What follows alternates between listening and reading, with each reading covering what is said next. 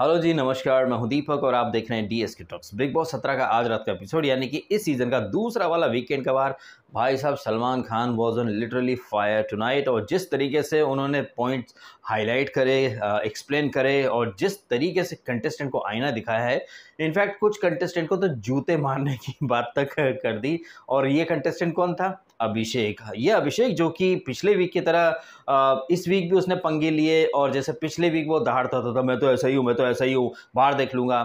उसने यहाँ, आज के एपिसोड में भी जब ये परिणति चोपड़ा को ड्रैग किया गया, तब भी उसने कहा था, मैं तो ऐसा ही हूँ, मैं तो ऐसा ही हूँ।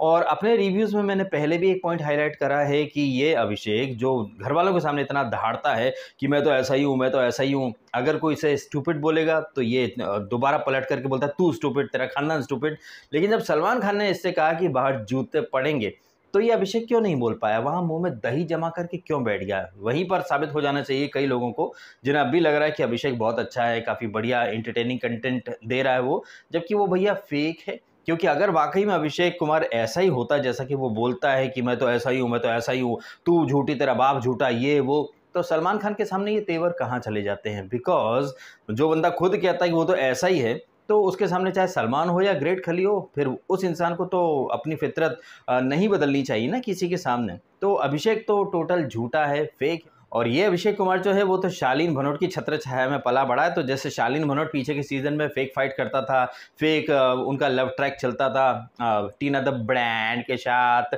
वो टीना जो बोलती थी, ओ शालीन भनोट, ये make me fall in love at the same time oh Shaleen how dare you talk to me तो मतलब आप समझ जाएँ कि अभिषेक जो है वो किस स्कूल से निकला हुआ है। वैसे इस एपिसोड में अभिषेक ही नहीं, ईशा को भी सलमान खान ने बोले, क्या दांत दिखा करके हंसती हो? तो ईशा की भी घनघोर बेइज्जती हो गई और सबसे बड़ी बेइज्जती तो हुई है अनुराग, द यूके राइडर की। अनुराग, द यूके राइडर ने जब लास्ट वीकेंड के बार के बाद बोला था ना कि यार उनको तो तवज्जो नहीं मिल रही है तो अपने रिव्यू में मैंने कहा था कि मेकर्स के शो में रहते हुए आप मेकर्स को आईना तभी दिखा सकते हो जब आपका खुद का पक्ष मज़बूत हो लेकिन आपने देखा कि अनुराग का कोई खुद का पॉइंट या फिर स्टैंड जो इतना स्ट्रॉन्ग था ही नहीं और सलमान खान ने इस एपिसोड में तो मखमल में लपेट लपेट करके जो नचाया है ना, बसंती की तरह मतलब अनुराग और उसकी जो ब्रो सेना है, वो मतलब कहाँ जा कर के मुँह छुपाएँ? बातें तो बड़ी बड़ी कर दी थी अनुराग ने कि हमें प्रायोरिटी पर नहीं रखा जाता है टीवी वालों को ही ऊपर उठाया जाता है। तो सलमान खान ने बोल दिया, ले भैया नाच। झूमे जो पठान पर तो अनुराग की बोलती बंद हो गई। उसके चेहरे पर देख रहा था कि उसके गुर्दे छिल चुके हैं और फिर बाद में जिस तरह से नील भट्ट को नचाया सलमान खान ने तो नील भट्ट तो भाई वाह वाही लूट करके ले गया। तो कहने का मेरा मतलब ये है कि मेकर्स के शो में रहकर अगर आप मेकर्स को एक्सपोज करना चाहते हो मेकर्स के नैरेटिव की धज्जियाँ उड़ाना चाहते हो तो पहले अपना पक्ष आपको मज़बूत कर लेना चाहिए। कुछ ऐसे पॉइंट्स आपको इकट्ठे कर लेने चाहिए। उसके बाद अगर आप मेकर्स को आईना दिखाओ तो शायद आपका पॉइंट इतना स्ट्रांग हो कि होस्ट को भी आपके सामने एक्सेप्ट करना पड़े कि हाँ भैया, गलती हो गई। लेकिन अनुराग, अरुण और ये तहल का इन तीनों को मैंने डम्ब डम्बर डम्बेस्ट का टैग ऐसे ही नहीं दिया था। हालाँकि कई लोग जो रहते हैं, वो मेरे ऑब्जर्वेशन के ऊपर काफ़ी शक खड़े करते हैं। लेकिन जैसे जैसे शो आगे बढ़ रहा है, मेरा बोला गया एक एक शब्द कहिए या एक एक ऑब्जर्वेशन एकदम सटीक डायरेक्शन में जाता हुआ दिखाई दे रहा है। ऐसे ही ना मैंने विकी भैया के बारे में भी ऑब्जर्वेशन दिया था। उनको यानी विकी भैया को विकास गुप्ता से मैंने कंपेयर करा था। और उस चीज़ को भी आपने आज रात के एपिसोड में देख लिया कि कितना मीन और कमीन हो चुका है ये विकी भैया उर्फ़ विकी जैन। उर्फ़ विकी जैन का रियल नाम विकास जैन है। विकास जैन उर्फ़ विकी भैया अपने ही बुने जाल में फंस चुके हैं। अब ऐसे बहुत सारे लोग हैं जो कि विकी भैया को सिंपति देंगे। इनफैक्ट जिस तरीके से एपिसोड का कैप्शन था कि विकी को लगाई लताड़ सलमान खान ने तो मैंने भी ट्वीट करा कि विकी भैया सॉफ्ट टारगेट बन गए हैं। और विकी भैया को मैंने एक सॉफ्ट टारगेट सिर्फ़ इसलिए बोला है क्योंकि विकी भैया को मेकर्स बिल्कुल वैसे यूज़ कर रहे हैं जैसे बिग बॉस पंद्रह में करण कुंद्रा को यूज़ करा था बिग बॉस चौदह में अभिनव शुक्ला को यूज़ करा था बिग बॉस सोलह में वो जग्गा का जो पार्टनर था मग्गा, उसे यूज़ करा था। और उसी तरह से ये विकी जैन को एक सॉफ्ट टारगेट बना रहे हैं। मतलब वो बंदा खैर गलत तो गया है इस वीक लेकिन अगर वो गलत नहीं भी जाएगा ना, तब भी उसे जैसे करण कुंद्रा को यूज़ करा था पंचिंग बैग की तरह सो दैट फेकस भी अच्छे लगे, उसी पैटर्न पर ये मेकर चल रहे हैं और विकी जो कि वाकई में गलत गया भी है, लेकिन अगर वो गलत नहीं भी जाएगा ना, तब भी ये लोग अंकिता को महान दिखाने के लिए कहीं ना कहीं से विकी को जलील तो करेंगे ही। और ये जो कपल काउंसलिंग सेंटर जो कि बिग बॉस चौदह से चलना शुरू हुआ था, वहाँ चुबीना और अभिनव फिर बिग बॉस पंद्रह में रिलेशनशिप बॉयफ्रेंड गर्लफ्रेंड के ऊपर सत्रह तरह के ज्ञान दिए जाते थे। तो परंपरा, प्रतिष्ठा और अनुशासन के तहत यहाँ पर जो नैरेटिव निकल करके आया है, बिग बॉस चौदह में चुबीना को विक्टिमाइज दिखाया ट्रॉफी दे दी, फिर फेकसवी को विक्टिमाइज दिखाया और करण कुंद्रा को एकदम घटिया बॉयफ्रेंड उसी तरह से अगर आप देखें तो क्या आपको ये नहीं लग रहा कि अंकिता के लिए रेड कारपेट बिछाना शुरू कर चुके हैं मेकर्स क्योंकि ये अंकिता, जिन्होंने ये जो फसाद हुआ ना एपिसोड में परिणीति चोपड़ा को ड्रैग किया गया, ये जो चिंगारी थी कि तू परिणीति चोपड़ा का नाम ले, फिर देखते हैं। तो ये चिंगारी लगाई थी अंकिता लोखंडे ने। Real culprit was Ankita Lokhande but सारा ठीकरा किस पर फूटा? उस बंदे पर फूटा जिसने ये प्लान एग्जीक्यूट करा। और ये प्लान एग्जीक्यूट करने वाला बंदा कौन था? अभिषेक कुमार। अभिषेक कुमार तो खुद परिणीति चोपड़ा का नाम ड्रैग कर सकता है। वो कुछ भी बोल सकता है किसी को ट्रिगर करने के नाम से। बट सामने से अगर एक पलटवार हो जाए कि गर्लफ्रेंड है तेरी गर्लफ्रेंड है तेरी तो तू मेरी गर्लफ्रेंड पर मत जाना, मैं तो ऐसा ही हूँ, मैं तो ऐसा ही हूँ, मैं तो ऐसा ही हूँ। मतलब तुम किसी को ट्रिगर करो तो सही बट सामने वाली तुम्हें ट्रिगर कर दे तो तुम बौखला जाते हो, चिल्लाते हो फिर जो हरकतें करते हो, उसके बाद तुमको वीकेंड के बार में सलमान खान से गाली खानी पड़ती हैं और सलमान खान ने तो बोल भी दिया कि बाहर ऐसा करोगे तो जूते पड़ेंगे। अब ये अभिषेक, जिसमें थोड़ी सी भी सेल्फ रिस्पेक्ट होगी, अरे ये मैंने क्या बोल दिया भाई साहब? ये अभिषेक या ईशा, इनमें कोई सेल्फ रिस्पेक्ट या संस्कार या क्लास वाली कोई चीज़ तो है ही नहीं। अगर थोड़ी सी भी संस्कार या क्लास होती इसमें अभिषेक में तो पिछले वीक जब सलमान खान ने इसको आईना दिखाया था काफ़ी अच्छे मोटिवेशनल वर्ड यूज़ करे थे सलमान खान ने कि अगर वो तुमको इंपॉर्टेंस नहीं दे रही तो मूव ऑन कर जाओ ना भाई। ज़िंदगी बहुत बड़ी है, छोड़ दो उसको। लेकिन नहीं, लौट के बुद्धू घर को आए थे, सस्ते कबीर खान बनकर उसका हाथ मरोड़ रहा था, पल्लू पकड़ रहा था, ये सारी चीज़ें आपने भी देखी और इसीलिए मैं कह रहा हूँ कि सलमान खान की जो बातें हैं, ये अभिषेक, ईशा, विकी इधर से सुनेंगे और इधर से ही निकाल करके रख देंगे। और जो ये लोग बाहर से प्लान करके आए हैं ना, वो उसी ट्रैक पर चलेंगे। और अंकिता लोखंडे, जो कि बन रही हैं बड़ी महान बड़ी ही क्लासी। और जिस तरह से सलमान खान ने अंकिता के ब्लेंडर को कवर करके सारा ठीकरा अभिषेक पर फोड़ दिया है, अंकिता भी मनी मन सोच रही होगी, किसी को क्या ही पता चलेगा। प्लान बनाया मैंने, लेकिन मेरे को कुछ नहीं बोला, अभिषेक को बोल करके रख दिया। तो पीआर पावर के दम पर आप देखिएगा अंकिता को कई लोग अबला भी साबित कर देंगे दुखियारी भी साबित कर देंगे। बिल्कुल वैसे जैसे चुबीना और फेकसवी को एक तरफ़ दुखियारी अबला at the same time strong tigress ये वो दुनिया जहाँ का। ये अंकिता लोखंडे जो कि अपने सीरियल में लीड में आया करती थी आ, महान महिला का इनको किरदार दिया जाता था। बट बिग बॉस के अंदर आपने देखा होगा हर सीज़न में चाहे चुबीना हो या फेकसवी या वो आ, महान ट्यूरियल फॉर रियलिटी शो वाली ये अपने टीवी सीरियल की लीड एक्ट्रेसेस होती हैं बट बिग बॉस में पता नहीं क्या इन लोगों को हो जाता है कि ये वैम्पिश किरदार ज़्यादा निभाती हैं। ऐसे ही हैं ये अंकिता लोखंडे भी, बनती वीकेंड पर महान है। सलमान खान ने पूरी कोशिश करी है अंकिता को महान दिखाने की, बट सलमान खान ने एक थोड़ी देर के लिए सच भी बोल दिया था कि, अंकिता, आपका इससे खानजादी के साथ लफड़ा था, फिर आपने तो बाहें खोल करके स्वागत कर लिया। तो अंकिता क्या बोली हाँ सर, वो मेरे से गलती हो गई। गलती वलती कुछ नहीं हो गई भाई, ये प्री प्लान स्ट्रेटेजी है। और ये अंकिता लोखंडे जो उस दिन कह रही थी, karma is a bitch, karma is a bitch. Karma is a bloody bitch और तुम लोग कर्मा कर्मा की बातें कर रहे थे। अंकिता और तुम्हारा पति विकी। कर्मा के थपेड़े में ऐसे फंसे हो। इनफैक्ट तुम्हारा पूरा ग्रुप वो राउंड टेबल कॉन्फ्रेंस वाला ग्रुप सलमान खान ने तो कह कह के ली है। तो सलमान खान की जो होस्टिंग थी ना, वो तो वाकई में माइंड ब्लोइंग थी। फुल ऑन पैसा वसूल होस्टिंग की है सलमान खान ने।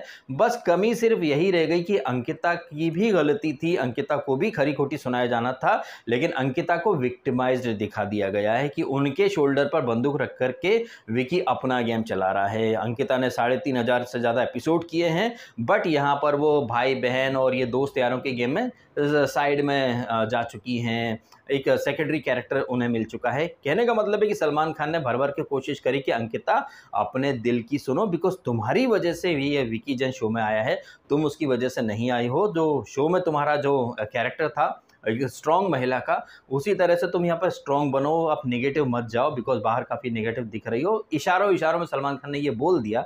अब अंकिता में अगर थोड़ी सी अकल होगी जो कि मुझे नहीं लग रहा कि होगी, क्योंकि वो अंकिता जो कि अड़तीस साल की हैं, लेकिन निब्बा निब्बी की तरह आपने फिर देखा यहाँ पर एपिसोड में एक्सपेक्टेशन सेट करना, ये विकी से उनका वही मतभेद, फिर विकी बोलता है क्या कि मैं बात नहीं करूँगा तो वो चुप हो जाती है। मतलब रहा भी ना जाए, सहा भी नहीं जाए। और आपने विकी की बेशर्मी भी सुनी होगी, अच्छे से देखी होगी। देखा तो सलमान खान ने भी है कि विकी नील को क्यों एलिमिनेट करवाना चाहता था या नॉमिनेट करवाना चाहता था, क्यों अभिषेक को बचाना चाहता था। जानते सब कुछ सलमान खान भी है कि बाहर से इनका गठबंधन बना बनाया एंड अपने बाहर से बने बनाए अलायंस को ये विकी तोड़ना नहीं चाहता है, इसीलिए ये अभिषेक को उस रूम में लेकर के आना चाहता था। ऑल दो अंकिता ने थोड़ा सा दम दिखाया, बोलने की कोशिश करी भी कि, सर, मैं तो नील को करना चाहती थी, करना चाहती तो करा क्यों नहीं?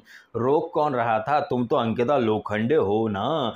खैर, इन सारी बातों के चक्कर में मैं भूल जाऊँ कि भैया वीडियो को लाइक भी करना है और चैनल को सब्सक्राइब भी करना है तो प्लीज़ वीडियो को लाइक ज़रूर कर लीजिएगा और कर लीजिएगा चैनल को सब्सक्राइब भी यदि आपने नहीं किया है तो तो ये जो वीकेंड का बार शुरू होता है तो हम देखते हैं कि घर में जो कलेश की शुरुआत होने वाली थी, उसके पहले सलमान खान भूमिका बाँध देते हैं कि चलिए घर में क्या क्या हुआ। तो रिंकू जी अंडे के ऊपर और डस्टबिन साफ़ नहीं हुआ है, अरुण तुमने नहीं करा, ये नहीं करा, वो नहीं करा। इन बिटवीन वो जो चिंगारी छोड़ती हैं, ये अंकिता लोखंडे, परिणति चोपड़ा के नाम से तो भाई तुम डुप्लीकेट परिणति हो, तुम्हारा चेहरा ये दिखता है।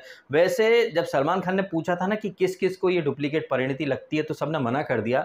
जबकि यार कोई भी इंसान अगर इसको देखेगा मनारा को और इसकी आवाज़ सुनेगा तो मनारा का चेहरा और मनारा की बातचीत स्पेशली मनारा की आवाज़ की जो टोन है, वो परिणति चोपड़ा से हु बहू मिलती है। लेकिन आपने देखा कि जस्ट बिकॉज़ सलमान खान ने पूछा तो सबने मना कर दिया, जबकि जानते सबको ही है कि परिणति चोपड़ा की हु बहू कॉपी लगती है ये मनारा चोपड़ा, लेकिन बोला नहीं। हालाँकि ये मनारा चोपड़ा जिस तरह से ये कह रही थी कि वो अपने खुद की काबिलियत से जाना या पहचानी जाना चाहती हैं, वो अपनी बहनों का नाम इस्तेमाल नहीं करना चाहती तो मनारा चोपड़ा पैदा हुई थी बारबी हांडा के नाम से। हांडा बिकेम चोपड़ा। तो वाई दिस कोलावेरी डी यार, अगर आप अपने खुद की एक अलग पहचान बनाना चाहती थी तो बारबी हांडा के नाम से आपको काम मिल जाना चाहिए था। तो मनारा भी क्या दुनिया को सी एच यू समझ रही है। अच्छा ये मनारा ही नहीं, सलमान खान बिग बॉस के हर सीज़न में नेपो किड्स को डिफेंड करने के लिए सस्ते वकील बनकर कूद ही पड़ते हैं। शमोद शेट्टी कहें, या फिर वो जान कुमार शानू शानू जी का लौंडा, उसे डिफेंड करने के लिए तो सलमान खान ने अतरंगी लॉजिक बना दिए थे। मतलब कुमार शानू का लौंडा गाना गाए तो चलता है बट राहुल वैद्य के लिए बोल दिया जाता था, अरे, ये कोई सिंगिंग शो थोड़ी ना और राहुल ये कोई नेपोटिज्म थोड़ी ना होता है ऐसा नहीं वैसा नहीं। आ, कुमार शानू का लौंडा अपने दम पर आया है। कुमार शानू का लौंडा अपने दम पर आया है तो बिग बॉस के बाद उसे कितनी फ़िल्मों में काम मिला? राहुल वैद्य के लिए बोल दिया जाता था सिंगिंग शो नहीं है। शिव ठाकरे और सुम्बुल डांस करते थे पीछे के सीज़न में। अरे ये डांसिंग शो थोड़ी ना यार ये तो बिग बॉस पर्सनैलिटी का शो है। लेकिन मुनवर के लिए ये शेर व शायरी वाला शो बन जाता है। अंकिता और ये विकी के लिए ये सास बहू और उनके घिसे पेटे ड्रामे वाला शो बन जाता है। तो मेकर्स जो हैं इस सीज़न में तो कह रहे हैं कि वो बायस्ड हैं बट पीछे के सीज़न में तो भर भर के बायस्ड अप्रोच मेकर्स की दिखती थी शिव और संबुल। ये डांस का शो थोड़ी है आसिम ये जिम करने का शो थोड़ी है, ये तो पर्सनैलिटी और सर्वाइवल का शो है। अब सडनली ये पर्सनैलिटी और सर्वाइवल स्किल्स वाला शो रिलेशनशिप का शो बन चुका है। कपल काउंसलिंग सेंटर खुलने लग गए हैं, कभी वो चुबीना उसके नाम से, कभी फेकसपी और करण कुंद्रा के नाम से, कभी जग्गा मग्गा के नाम से, और अब आप देख लीजिए आने वाले वीक में क्या पता शायद नील और ऐश्वर्या के लिए भी कपल काउंसलिंग सेंटर खुल जाए। और इस कपल काउंसलिंग सेंटर में आ, कपल को ज्ञान कौन देंगे? सलमान खान जो खुद किसी रिलेशनशिप में नहीं रह पाए। लेकिन हाँ सलमान खान जिन जिन के साथ रिलेशनशिप में रहे उनमें से दो लड़कियाँ ऐसी हैं जिनके पतियों के नाम एक तो अभिषेक से मिलता है और एक विकी। कहीं यही तो वजह नहीं है कि सलमान खान को विकी भैया और अभिषेक से कुछ ज़्यादा ही प्यार है। ऐसा तो नहीं कि ठुकरा के मेरा प्यार मेरा इंतकाम देखेगी। और अगर तू नहीं तो तेरे पतियों का जो नाम है, उस नाम के जो इंसान है, उन पर मेरे क्रोध की आग का मतलब वो बम गिरेगा। तो इसलिए अभिषेक और विकी को, सलमान खान ने को ज़्यादा ही प्यार कर दिया। वहीं मनारा, जो नोबड़ी हरकतें वो भी करती है, वो भी अफलातूनी हरकतें करती रहती है। बट सलमान खान क्या है कि नेपो किड्स के सस्ते वकील है तो मनारा को इतना नहीं बोला, जबकि मनारा भी बहुत टू मच करती है, वो कोई दूध की धुली है नहीं। वो खुद भी उड़ते तीर लेती है, और जिस तरह से ये मुनारा मुनारा की जो पीपड़ी बजी। अच्छा यहाँ पर एक चीज़ ना, वो सलमान खान हाईलाइट करना भूल गए हैं। ये पिछले वीक जब मनारा ने कहा था इसको अंकिता को कि भाई वो अपने बॉयफ्रेंड की सगी नहीं हुई तो आपकी क्या सगी होगी? तो अंकिता लोखंडे कूद पड़ी थी मनारा को बोलते हुए कि तुम एक लड़की के कैरेक्टर पर कैसे जा सकती हो? How how can you say that but यही अंकिता लोखंडे इस एपिसोड में जब ये मनारा और मुनव्वर के ऊपर जब ये बातें कर रहे थे राउंड टेबल कॉन्फ्रेंस वाले, विकी और अभिषेक और ये सब मिल करके और ये जो मुनव्वर ने जो जो लॉकअप में मुंजली और मुसाइशा ये सारी चीज़ें अभिषेक को पता है, विकी को पता है, इसी के ऊपर बातें हो रही थी, फिर कैसे इन लोगों ने मुनव्वर से मनारा को लिंक कर दिया तो ये अंकिता लोखंडे जो कि पिछले वीक बड़ी दहाड़ रही थी कि एक लड़की का कैरेक्टर आप कैसे उसकी धज्जी उड़ा सकते हो तो अंकिता का ये वाला साइड क्या घास चरने चला गया था? मतलब ईशा के ऊपर कोई कुछ बोल दे तो वो लड़की है, उसके कैरेक्टर उसकी इमेज की चिंता करो बट यही लोग मिलकर के मनारा के कैरेक्टर की धज्जियाँ उड़ा रहे हैं।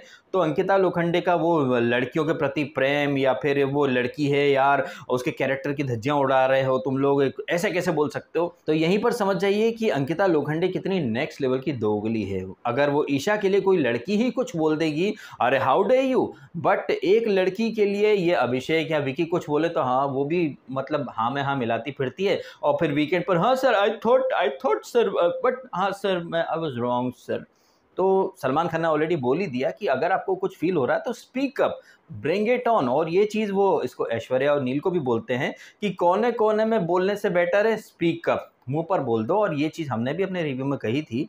जिस एपिसोड में ये ऐश्वर्या सवेरे सवेरे उठ करके मॉर्निंग में अपने छिले हुए गुर्दे दिखा रही थी, जब ये ऐश्वर्या कह रही थी कि अब तो जो मेरे मन में आएगा, मैं वो करूँगी तो मैंने कहा भी था कि अब पछताए हो क्या? चिड़िया चुप गई खेत. जो गुस्सा मॉर्निंग में दिखा रही थी ऐश्वर्या वो गुस्सा उसी समय दिखा देती नॉमिनेशन टास्क के दौरान। तो भाई हमें पता भी चलता कि हाँ वाकई में आप स्ट्रांग हो बट एनी वे उस समय वो नहीं कर पाई तो सलमान खान ने अब ज्ञान दे दिया है। सलमान खान ने ईशा को भी आड़े हाथ तो लिया है कि तुम्हारा रिलेशनशिप का स्टेटस क्या है और ये दांत फाड़ फाड़ के दिखा रही हो। भाई ईशा तो मंदिर का घंटा बन चुकी है। सलमान खान ने भी उसको आ, कह कह के जलील कर दिया दांत दिखा रही है। मेरा क्यूट सा रेबिट ये क्यूट सा रेबिट तो सलमान खान ने कवर करने के लिए बोला था। और रही सही कसर जो है, वो कल के एपिसोड में देखने को मिलेगी, जब ईशा का बॉयफ्रेंड कौन है वो एक्टर या उसका नाम मुझे अभी ध्यान नहीं आ रहा है, जुरेल है या पता नहीं कौन है। भाई, उधर वो आ रहा है वाइल्ड कार्ड बन के बिग बॉस कह रहे हैं कि ईशा के अभी के बॉयफ्रेंड अरे भैया, इतना सुनना है कि ईशा तो चीख मार मार करके रो रही है तो आप देख रहे हैं? देख रहा है ना विनोद, ये ईशा जैसी लड़कियाँ, इधर अभिषेक है, बाहर कोई जुरेल है। क्या पता भाई, कल को कोई और भी पैदा हो जाए। अच्छा इससे मिलती जुलती एक और अपडेट है जो कि शायद आपको आउट ऑफ़ सिलेबस लगे, वो दीपिका पादुकोण जो कि कॉफ़ी विद करण में, कितनी बेशर्मी से वो बोल रही है दीपिका पादुकोण, वो कमिटेड थी इससे, रणबीर सिंह से। उसके बावजूद वो दूसरे लड़कों के संग अफेयर रिलेशनशिप और टाइम स्पेंड करना। मतलब ये हैं हमारे देश में celebrities my body my choice का नारा लगा करके ये फीमेल्स कुछ भी कर सकती हैं, वो स्त्री हैं, कुछ भी कर सकती हैं। अगर कोई उन्हें कुछ बोल दे, आईना दिखा दे ओ my god how dare you it's her choice सुन मेरी बात, ये उसकी मर्ज़ी है, वो एक के साथ अफेयर करे या दस के साथ, तू कौन होता है लेकिन लड़का अगर ऐसा कुछ कर दे ओ my god he is so mean characterless ठरकी साला कहीं का। मतलब लड़कों के लिए रूल्स अलग हैं, लड़कियों के लिए रूल्स अलग हैं। लड़का करे तो हाय हाय और लड़की करे तो वाह क्या बात है, वो लड़की है, कुछ भी कर सकती सकती है। ये थोड़ा टू मच नहीं हो रहा हमारे समाज में और ये सारी चीज़ें प्रमोट कौन करते हैं? सेलिब्रिटीज़ कभी वो दीपिका पादुकोण, कभी ये ईशा। ये ईशा जब आई थी ग्रैंड प्रीमियर में, ये मेरे को मारता है, ये करता है, वो करता है और उसी अभिषेक के साथ पलंग पर जाना है, सोना है, फिर हाथ हाथ पकड़ता तो हो माय गॉड कैसे टच कर लिया? तो इतना सब देख कर भी ऐसे बहुत सारे बिग बॉस के रिव्यूअर्स हैं एक्सपर्ट्स हैं एक्स कंटेस्टेंट हैं, उन्हें भी पता है कि ये ईशा क्या है थर्ड क्लास कैरेक्टर वगैरह। लेकिन इसके बावजूद वो ईशा को भी जस्टिफाई करेंगे, वो अंकिता को भी जस्टिफाई करेंगे, फिर उन्हें देखने वाली ऑडियंस मेरे पास आएगी और कमेंट करेगी कि भाई रिव्यू करना, उससे सीखो। भाई मैं क्यों किसी से कुछ सीखूं? और वो लोग जो मुझे ये ज्ञान देते हैं कि मैं उन लोगों से कुछ सीखूं, क्या आप लोगों को भगवान ने आँखें दी हैं या नहीं? आपने बिग बॉस चौदह में देखा, पंद्रह में देखा, सोलह में देखा, सत्रह में भी आप वही सब देख रहे हो, वही घिसी पिटी नोटंकी। क्या आपको अब भी लग रहा है कि ये अंकिता, चुबीना, ये फेकसवी ये महान महिलाएँ हैं। इनको जिस तरह से अबला नारी के रूप में पोर्ट्रे किया जाता है और शो में एक ऐसे शो जिसमें सब कुछ नकली होता है इमोशन भी नकली होते हैं, प्यार भी नकली होता है, उस नकली प्यार को, उस नकली बनावटी इमोशन को आप लोग रियल मान सकते हो और आप जिन लोगों को देखते हो, वो लोग रियल बोल करके उन नकली इमोशंस को बेच सकते हैं। इसका मतलब ये है कि हम भी वही करें क्या? हम क्यों भेड़ चाल में शामिल हों भाई साहब? हमको अगर कुछ चीज़ें दिख रही हैं जो कि पीछे के सीज़न में भी मेकर्स ने दिखाई थी तो इन चीज़ों को आप लोग रियल मान सकते हो। मेरा काम है बिग बॉस में कितनी असलियत है और कितना वहाँ पर नकली सामान परोसा जाता है, उन चीज़ों का विश्लेषण करके आपके सामने रखना। मेरा मिशन या मेरा एजेंडा किसी सेलिब्रिटी को खुश करके उसकी फ़ैन फॉलोइंग को बटोरना बिल्कुल नहीं है। मेरा मिशन है आपकी आँखें खोलना कि मीडिया के थ्रू या फिर रियलिटी शो के थ्रू कैसे जनता को चूतिया बनाते हैं ये मेकर्स मेरा मिशन ये है। खैर, हमारी बातें तो बहुत हो गई। वापस से शो की बातों पर आ जाते हैं। तो हम बात कर रहे थे अंकिता, जिस तरह से बाकी लोगों को कैरेक्टर कैरेक्टर सर्टिफिकेट बांटती फिरती हैं। अंकिता, उनके पतिदेव विकी, यहाँ पर मनारा के कैरेक्टर के धज्जियाँ भी उड़ा रहे थे, जो कि हमें बाद में पता चलता है कि सना रईस खान बता रही थी कि विकी ने ये सारी बातें बताई सबको कि मनारा का जो वायरल हुआ ना क्लिप जहाँ पर एक वो डायरेक्टर से किस कर रहा था। अब यहाँ पर अंकिता का डबल स्टैंडर्ड आ ही जाता है, साथ ही साथ विकी कितना सेंसिबल है, ये चीज़ भी एक्सपोज हो जाती है। अंकिता, किसी के वर्ड पकड़ करके तुम किसी लड़की के बारे में ऐसा कैसे बोल सकते हो? लेकिन खुद अंकिता के पति थे ओपनली किसी लड़की की धज्जियाँ उड़ाते फिरते हैं। तो ये बातें जो पीठ पीछे होती हैं, ये बातें विकी भैया और ये अंकिता वगैरह खुल करके नहीं कर पाते हैं। इसीलिए इन सबको सलमान खान ने डरपोक का टैग भी दिया है। और सलमान खान ने ये ज़िम्मेदारी दी इसको, किसको? खानजादी को, कि खानजादी तुम और कौन थी? मनारा। और आई थिंक कौन था? अंकिता या फिर विकी? आई थिंक विकी को छोड़ करके बाकी सबको तुम ये डरपोक वाले लॉकेट बनाओ बिकॉज़ ऐसे बहुत सारे लोग हैं जो बनते बड़े दबंगे, लेकिन कोने कोने में छुप छुप के बातें करते हैं पीठ पीछे बातें करते हैं, मुँह पर बातें नहीं करते हैं और ऐसे ही डरपोक लोगों की श्रेणी में वो भी था, मुन्नी बदनाम, उर्फ़ मुनव्वर फारूकी। मुनव्वर फारूकी ने जब ये नॉमिनेशन टास्क के दौरान बड़ी बड़ी बातें करी थी कि, विकी भाई सामने से गोली मारूँगा। मैंने अपने रिव्यू में कहा था कि मुनव्वर ने बातें तो बड़ी बड़ी करी हैं, लेकिन उसने भी नॉमिनेशन टास्क वैसे ही करी, जैसे ये अरुण वगैरह लोगों ने करी थी अपने ग्रुप के लोगों को बचाने की कोशिश। और जब मनारा ने कहा था कि विकी को नॉमिनेशन में डालते हैं तो मुनव्वर फारूकी बैक फुट पर चला गया था। और इसी वजह से सलमान खान ने मुनव्वर के गले में वो लॉकेट डलवाया है। उस दिन तो मुनव्वर के फ़ैन बहुत बातें कर रहे थे कि मुनव्वर माइंडेड है माइंडफुल है, वो अपने पत्ते नहीं खोलना चाहता। अरे नेशनल टीवी पर चार लोगों के बीच में बोलो या फिर अकेले में बोलो, आपके पत्ते खुल जाते हैं, कुछ भी छुपा हुआ नहीं रहता है। इसीलिए सलमान खान ने बोला कि मुनव्वर तुम बोलते ज़रूर हो कि तुम उसके इशारे पर नहीं नाच रहे हो, लेकिन मुन्ना तू पिघल चुका है, तू पिघल चुका है और एक पैर पर तू नाच भी रहा है। सलमान खान ने सिर्फ़ इतनी हिंट दी है और मुनव्वर उसमें समझ चुका है, लेकिन मुनव्वर की जो डोंगरी की जनता, वो अभी भी नहीं समझेगी कि मुनव्वर, अंकिता विकी इनका अलायंस बाहर से बना हुआ था। इसीलिए मुनव्वर जो है, वो अभी खुल करके विकी के अगेंस्ट नहीं आया है, क्योंकि मुनव्वर ने बोला भी ना कि जब तक उसको अफेक्ट नहीं पड़ रहा है डायरेक्टली तब तक वो विकी के खिलाफ एक स्टैंड नहीं लेगा। बस कोने में छुप छुप करके इधर उधर कोने कोने में बात करेगा। इसीलिए तो सलमान खान ने मुनव्वर के गले में भी डरपोक वाला लॉकेट दिया है, क्योंकि कोने कोने में बोलता है, खुल करके सामने आने में बोलने में मुनव्वर की फटके फलावर हो जाती है। और इसका एग्ज़ाम्पल तो आपने देख ही लिया था ना, अरे विकी भाई, मौका मिलेगा, सामने से गोली मारूँगा, ईटो उठाकर ले जाऊँगा, लेकिन जब नॉमिनेशन की बारी आई तो अरे छोड़ो ना, अभी नहीं करने के डायरेक्ट पंगा कई को लेने का है। तो जैसा विकी का गेम है ना मतलब झुंड इकट्ठा करना, खोपचे खोपचे में जाना, अपने लोगों को, सबकी गुड बुक्स में रहना, वही गेम इसका मुनव्वर का भी है। फ़र्क बस इतना है कि मुनव्वर के गेम को सलमान खान ने एक्सपोज नहीं करा है। विकी का तो पूरा गेम ही उड़ा करके रख दिया है। और विकी कितना झूठ बोल रहा था यार। हमने सबने देखा है, चाहे सना हो या फिर ये जो खानजादी, सबको ये बोलता है विकी कि, अरे जाओ यार, लड़ो, लड़ोगे, भिड़ोगे, दिखेगा। मतलब आप देख लीजिए कितना स्पाइनलेस है ये विकी। और इसके बारे में मैंने कल के रिव्यू में तस्वीर भी दिखाई थी आपको। अगर आपको याद नहीं तो कल का रिव्यू देखिएगा, जहाँ पर अभिषेक जो है वो चढ़ रहा है अंकिता के ऊपर और विकी बाजू में बैठा हुआ है। उसको फ़र्क ही नहीं पड़ रहा है। भाई, ऐसे पति होते हैं क्या? अगर, जैसे कि सलमान ने एग्ज़ाम्पल दिया ही ना कि अगर आप कहीं बाहर जा रहे हो, आपकी बीवी के साथ कोई बदतमीज़ी कर देगा तो आप क्या करोगे विकी? आप साइड में खड़े हो जाओगे कि तुम देख लो अपना, है? एक जिम्मेदार पति जो होगा, वो तो भाई लड़ेगा ना भाई। तेरी हिम्मत कैसे हुई मेरी वाइफ को कुछ बोलने की? है वहीं के वहीं करारा जवाब दे सामने वाले को। लेकिन विकी, अब यहाँ पर ना, विकी के लिए मेरे मन में कुछ शब्द आ रहे थे बट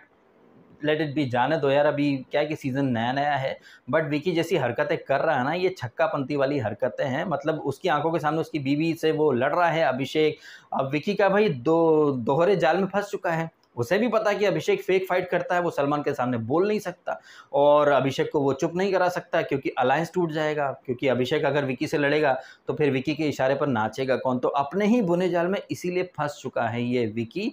लड़वाता भी है लोगों को, फिर पीस मेकर बन करके ज्ञान की बातें भी करता है, लेकिन जैसा कि अंकिता बोली कि अगर झगड़ा होता है तो तू दूसरों के पास जाता है। और विकी ने क्या कहा था? कि अरे मैं उनके पास जाता हूँ कि भाई ऐसा कुछ मत मत कर देना कि गलत लगे, ऐसा वैसा। जी नहीं, विकी वहाँ पर कुछ और इरादे से जाता है कि भाई ऐसा नहीं है, ऐसा नहीं है। वो सब जगह अपना क्या है ना कि मोहरे बिछा करके चलना चाहता है। विकी जैन सबकी गुड बुक्स में रहना चाहता है और सलमान खान ने उसका ये वाला गेम बुरी तरह से एक्सपोज करके रख दिया है। तो इस एपिसोड में विकी जैन, ये अभिषेक, ये ईशा और कुछ हद तक आप कह सकते हैं कि मुनव्वर का जो गेम है ना, कि वो विकी के इशारे पर नाच रहा है, वो भी डरपोक ही है। और नील और ऐश्वर्या को भी उन्होंने एक हिंट दे दी है। वहीं मनारा के तो ये सस्ते वकील बन गए, बट मनारा को भी थोड़ा सा दिया है कि आप खुद ऐसी हरकतें करती हो, बचपना वाली, फिर कोई बच्ची बोल दे तो भी आपको दिक्कत है, बड़ी अम्मा बोलते तो भी आपको दिक्कत है तो मनारा को थोड़ा सा गाइड कर दिया है। वहीं अंकिता को तो पूरी तरह से सती सावित्री साबित कर दिया है, दुखी महिला।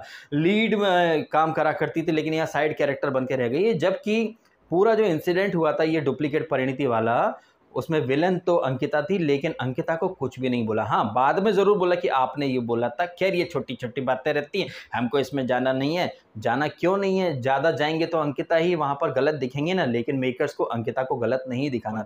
उन्हें तो दुखियारी दिखाना था, इसीलिए वहाँ पर अभिषेक को सत्रह बातें सुना दी और अभिषेक को ये भी बोला सलमान खान ने कि ऐसे तो तुम भी आसिम की कॉपी कर रहे हो, तुमको डुप्लीकेट बोल दिया जाए क्या? तुम भी पीछे के सीज़न गौतम गुलाटी का भी नाम लिया था। तो अभिषेक को तो भर भर के जलील कराया है और उसकी पूरी तरह से धज्जियाँ उड़ा करके रख दी है। लेकिन ये अभिषेक तो भाई चिकना खड़ा है, वो कहाँ बातों से सुनने, समझने वाला है? उसे भी पता है ऑलरेडी बाहर से बता दिया गया होगा कि सलमान खान कुछ बोलेंगे, बस सुनना और उसके बाद इग्नोर कर देना। अदरवाइज़ आप खुद सोचिए, क्या उसे नहीं पता था? इनफैक्ट नील नील भट्ट ने तो कहा ही था ना, किससे बात कर रहा था नील भट्ट? उसने कहा भी था कि क्या ये ज़रूरी है कि वीकेंड का वार आने से पहले फाइट की जाए? तो यहीं पर आप समझ जाइए कि ये जो फाइट होती हैं, ये प्री प्लान होती हैं सो दैट वीकेंड के प्रोमो वगैरह कट पाएँ। लेकिन ये सब कुछ वो लोग जो कि शो में जा चुके हैं और शो के रिव्यू भी कर रहे हैं, वो लोग आपको कभी ये चीज़ें नहीं बताएँगे, जो कि नील भट्ट ने शो में रहते हुए ही हाईलाइट करती हैं कि क्या ये ज़रूरी है कि वीकेंड का वार आने से पहले फाइट करना ज़रूरी है क्या? तो आप समझ जाइए, नील भट्ट शो में रहकर कहीं ना कहीं मेकर्स को एक्सपोज तो कर रहा है, लेकिन नील भट्ट ने उस तरह से मेकर्स को एक्सपोज नहीं करा, जिस तरह से अनुराग ने करा था। इसीलिए अनुराग की बत्ती लगा दी सलमान खान ने और ज़बरदस्त तरीके से उसको जलील कर दिया। और ये जो हैं, ये अरुण वगैरह, इनको भी सलमान खान ने बोल दिया कि भाई कुछ करो ऐसा सो so दैट आप लोग दिखो, अब आप सोते रहते हो, फिर ट्विटर पर उसके फ़ोटो छप जाते हैं। तो ये चीज़ें अच्छा फ़ोटो से याद आया, एकता कपूर का जो इंस्टाग्राम स्टोरी था वो दिखा दी गई है। दैट मीन्स एक मैसेज दे दिया गया है कि एकता मैडम बाहर तुम्हारे लिए माहौल बना रही हैं अंकिता। थोड़ा सा वो पवित्र रिश्ता वाले मोड में जाओ और जैसे जो तुम्हारी जनता थी जिस रूप में तुम्हें देखती थी उस रूप में आ जाओ बिकॉज़ टीवी सीरियल की ऑडियंस तो तुम्हें उसी रूप में देखना चाहती है। तुम कहाँ यहाँ दूसरों के चक्कर में एकदम प्यादा बनी घूम रही हो? तुम लीड वाला फेस हो तो लीड रोल प्ले करो। ये मैसेज दिया है सलमान खान ने अंकिता को। तो ये सब कुछ रहा है आज के एपिसोड का एक मोटा मोटा सा लबो लबाब अब कल कुछ फ़िल्मों का प्रमोशन भी होगा और एलिमिनेशन भी होगा। अच्छा प्रमोशन से मुझे याद है कि पिछले वीक कंगना की तेजस और ये टाइगर श्रॉफ की गणपत, इन दो फ़िल्मों का प्रमोशन हुआ था। इत्तेफाक की बात है कि दोनों ही फ़िल्में डिजास्टर हैं, दोनों ही फ़िल्में ऑन मूव गिर चुकी हैं। और गिरने से याद आया ये सानिया बंसल, ये भाई ऑलरेडी काफ़ी ज़्यादा गिर चुकी हैं। और गिरते गिरते ये शो के बाहर बाहर जा चुकी हैं, हो चुका है, इनका एलिमिनेशन कुछ अपडेट्स आ चुकी हैं। गर्ल फ्रॉम आगरा पहन के आई थी, बड़ा सा घाघरा, चप्पल छोड़ छाड़ के। इतनी फेक थी, इतनी फेक फाइट करी इन्होंने, लेकिन किसी काम नहीं आ पाई और शुरू होते से ही इनका जो सफ़र है, ख़त्म हो गया। ये कहीं ना कहीं एक मॉरल विक्ट्री है मनारा चोपड़ा की, क्योंकि मनारा चोपड़ा के पीछे ही पड़ गई थी सानिया बंसल। कैसे आगरा वाले एक्सेंट में फेक फाइट कर रही थी, बड़ी उंगली दिखा दिखा करके। अब बाहर जा कर के टीवी पर बैठ करके देखेंगे मनारा को तो ये कहीं ना कहीं सोनिया बंसल का एलिमिनेशन मनारा की एक मॉरल विक्ट्री है। और साथ ही साथ मनारा की एक मॉरल विक्ट्री ये भी है कि जिस तरह से ये खानजादी अंकिता, इनका जो भरत मिलाप हुआ था, उसको भी सलमान खान ने एक कटाक्ष के रूप में प्रस्तुत करा, और ये मोनारा मोनारा की जो पिपड़ी बजाई थी खानजादी ने उसको भी कहीं ना कहीं मनारा समझ चुकी है। तब देखते हैं कि आगे मनारा और बुद्धि का प्रयोग करके आगे जा पाती हैं या फिर सलमान खान अगले वीकेंड फिर कुछ अतरंगी लॉजिक ला करके मनारा को डिफेंड करेंगे या फिर सपोर्ट करेंगे। देखते हैं, खैर, उसमें तो काफ़ी लंबा टाइम लगेगा। चलिए, इसी नोट पर ये वीडियो मैं कर देता हूँ खत्म। आप कमेंट करें आपके ओपिनियन और अगर आपको वीडियो अच्छा लगा है तो उसको लाइक ज़रूर करना और करना चैनल को सब्सक्राइब मिलते हैं आपसे अगले वीडियो में। आपने समय निकाला वीडियो देखा, आपका बहुत बहुत धन्यवाद। Thank you so much